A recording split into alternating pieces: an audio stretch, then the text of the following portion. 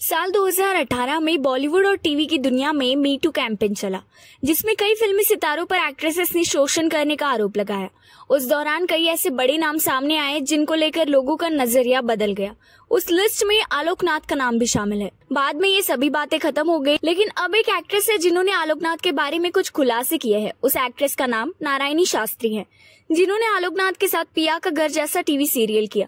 उस सीरियल में नारायणी ने आलोकनाथ की बेटी का रोल प्ले किया था। नारायणी ने सिद्धार्थ करण के साथ बातचीत में कई बातें बताई है। सिद्धार्थ कनन ने पूछा कि आपने आलोकनाथ के साथ भी काम किया है। सिद्धार्थ ने फिर पूछा, ये जो आरोप उनके ऊपर लगे थे तो आप उन बातों से हर्ट हुई? मुझे नहीं पता सच क्या है, लेकिन मैं सिर्फ़ आपसे पूछ रहा हूँ। इस पर नारायणी ने कहा कि असल में वो मेरे बहुत ही पसंदीदा को एक्टर्स में से एक है। उनके साथ मुझे काम करने में जितना मज़ा आया वो कभी नहीं आया, किसी के साथ नहीं आया। और मेरा उनके साथ में पर्सनल एक्सपीरियंस ये रहा है, उन्होंने हमें हमारे यूनिट में चार से पाँच लड़कियाँ रही हैं, और उन्होंने हम सभी को बहुत रिस्पेक्ट दिया है।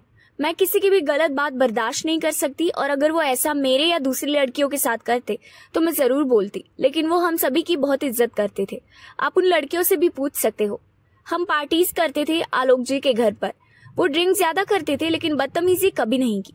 बाकी उनकी लाइफ में क्या हुआ है, उसके बारे में मुझे नहीं लगता है कि मुझे कमेंट करना चाहिए।